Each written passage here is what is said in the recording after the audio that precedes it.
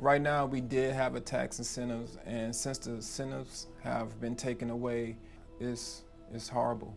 To be honest with you, uh, we had a lot of projects that was going on. We had a lot of people who had jobs and were able to provide for their families. And once those tax incentives left, of course, it made a big void, and it just totally took North Carolina out of the film industry.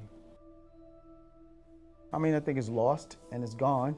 And um, Wilmington's opportunity is to focus on the independent filmmaking. If they can focus and work on independent films, eventually Wilmington will save itself. I think that they're really foolish. They did this uh, years ago. Uh, you had, uh, I, I don't come from North Carolina. I've always worked in New York or out of Hollywood and, and travel all over the world doing it. So, I mean, I've, while I've worked in the South, I was usually booked in New York or from California.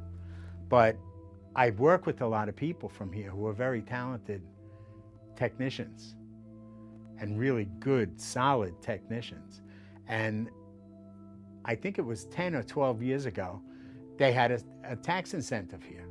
And everyone was working, and the, and the city was booming, and it was doing great, and they just dropped it for no apparent reason. They, someone felt like they shouldn't be giving someone money, although they were taking a lot of money in because it's not like they do a tax-free incentive. You're paying tax, but you're getting some money back, which encourages people to come to an area. You know, plus it gave business to the carpenters, it gave business to the Home Depots, to the uh, antique stores that prop people went in and purchased antiques for. It generated tons of business all over the area, and they cut it. And then I worked with guys, you know, over the years, like during that period, that came from here. I'd meet them in Florida, I'd meet them in New Orleans, I'd meet them in all these other areas because they could no longer work out of home. There wasn't enough work here because they stopped it. Then they began this again. I guess it was four years ago. I'm not exactly sure. I was never up on the politics because it didn't affect me very much. But again, the city was booming.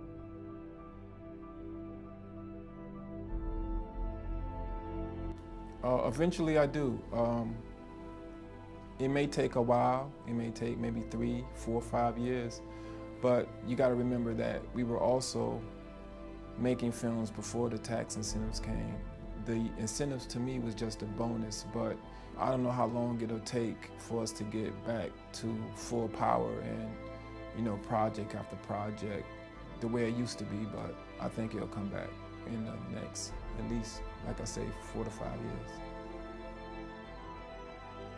No, it'll never come back. One main reason is this, mathematics. Uh, I tell a lot of my friends here who still has hope. Mathematics, do math. Math will actually answers your question. South Carolina incentives is 35%. Georgia's incentives is 30%. Wilmington only had a 25% incentive. So even if you did win the incentive back, it's only 25. Math.